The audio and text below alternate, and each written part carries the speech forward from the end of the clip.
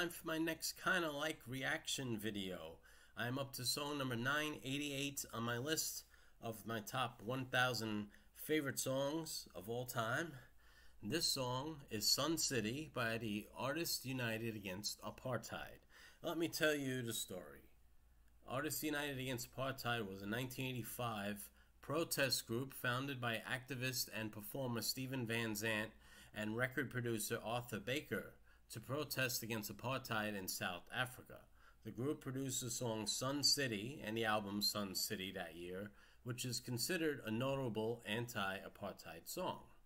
Now, Sun City is a luxury resort and casino developed by a hotel magnate named Sol Kerzner as part of the Sun International Group of Properties. It was officially opened December 7th, 1979, located in uh, the Bantustan of uh, Botswana, forgive me if I pronounce it wrong, uh, as the place had been declared an independent state by South Africa's apartheid government, although unrecognized as such by any other country. It could provide entertainment such as gambling and topless revue shows, uh, which were banned in South Africa. In protest of apartheid, an international boycott by performers continued for years, although some, such as, and I'll name them, the Beach Boys, Linda Ronstadt, Cher, Millie Jackson, Liza Minnelli, Frank Sinatra, Paul Anka, Status Quo, Rod Stewart, Elton John, and Queen all ignored the boycott and played there and made their money. you know, so uh, Steven, little Steven, Steven Van Zandt, became interested in writing a song about Sun City to make parallels with the plight of Native Americans.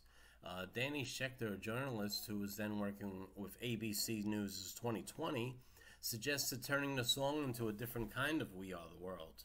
Or, as Schechter explains, a song about change, not charity, freedom, not famine. Uh, when Van Zandt was finished writing Sun City, he, Schechter, and producer Arthur Baker spent the next several months searching for artists to participate in the project. Van Zandt initially declined to invite Springsteen, not wanting to take advantage of their friendship, but Schechter had no problem asking, and Springsteen accepted the invitation. Van Zandt was also shy about calling legendary jazz artist Miles Davis. Schechter initiated a contact, and Davis uh, uh, also accepted. Eventually, Van Zandt, Baker, and Schechter would gather an array of artists, described by rock critic Dave Marsh as the most diverse lineup of popular musicians ever assembled for a single session including DJ Kool Herc, Grandmaster Melle Mel, Ruben Blades, Bob Dylan, Pat Benatar, Herbie Hancock, Ringo Starr and his son Zak Starkey, Lou Reed, Run DMC, Peter Gabriel, Bob Geldof, Clarence Clemons, David Ruffin, Eddie Kendricks, Darlene Love, Bobby Womack, Afrika Bambaataa, Kurtis Blow, Fat Boys, Jackson Browne, Daryl Hannah, Peter Wolf, Bono, George Clinton, Keith Richards and Ronnie Wood, Bonnie Raitt, Hall & Oates, Jimmy Cliff, Big Youth, Michael Monroe, uh, Peter Garrett from uh, uh, Midnight Oil. Uh, let's see, Ray Barretto, Gil Scott Heron, Nona Hendryx, Kashif, uh, and Joey Ramone. that is a mixture of names you could throw them all in a hat and mix it up. I don't think you could come out with something more diverse in that lineup. That was incredible. Uh, these also these artists also vowed never to perform at Sun City because to do so in their minds would be an acceptance of apartheid. Um, so they all got together, and uh, some in some situations these artists were all over the world or in different parts of the country. A lot of them were able to film in their session. They received uh, the music for the song, the words, or whatever, and were able to send their uh, performance on video, and they were able to be mixed into the song, which was a pretty hard thing to do for 1985. It's not the same technology as today. So they deserve a lot of credit. Arthur Baker really did a yeoman's work here, you know, getting this together. This was a lot of work, indeed. So the song was released at near the very end of 1985. Did not do particularly well on the pop charts. I think a lot of top 40 stations were hesitant to play it because it was such a protest song and it was such an in your face kind of challenge to Reagan, even. Some of the lyrics were critical of Reagan. So some radio stations didn't want to shake things up in that time period. Um, only about half the radio stations in the U.S. actually played the song. Some objecting to the lyrics, explicit criticism of Reagan. Um, but it was a major success in a lot of other countries. It hit the top 10 in Canada, number 10, hit number 3 in the Netherlands, number 4 in Australia, number 21 in the UK. The song, of course, not surprisingly, was banned in South Africa. Um, so that's pretty much the rundown of what the song is about. I want to play the video for you now. Some some people are not going to be very familiar to you in this video, depending on what kind of fan you are, or some of them are going to excite you because these were the first bunch. The, I think the first real mainstream attempt to get a bunch of rappers together to perform on the same track. This was pretty um, pretty strong feat. Really, a total. Uh, you have to totally commend Little Steven and Arthur Baker and the job they did on this. To me, this is more impressive than the other charity singles we've seen. Um, even though the level of stars here may not be the same, but there's still a lot of people that you don't really see performing outside of their own records that show up to do this. This was it was very impressive. All right, so I'm gonna stop talking now. I'm gonna play the darn video. All right, I'm gonna play the whole darn thing. I hope you enjoy it. I'll say a few things uh, after we complete the whole video. Okay,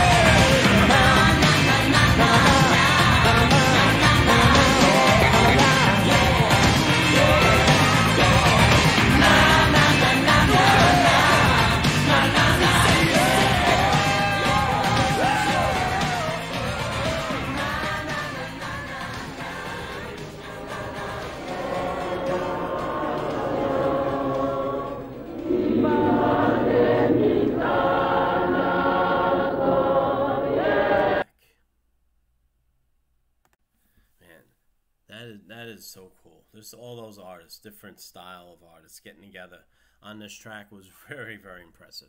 I really uh, think it's great. But sadly, in the years since then, it hasn't gotten the same attention in terms of charity singles as Band Aid or USA for Africa did for sure, because it was more of a starvation. You're saving lives. Well, here, it's indirectly you're saving lives as well.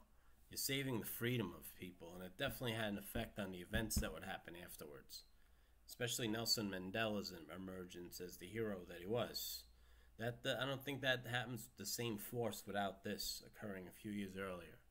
So, and as it turned out, even though it wasn't really intended to be a money raiser, wasn't looking to do that, it was more of a message, more of a protest.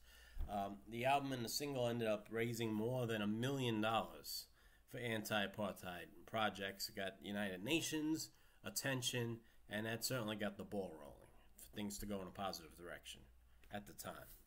So, that's about that.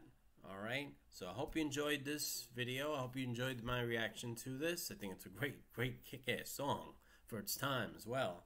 Um, so please share, please subscribe, please hit the like button, and keep on watching. All right.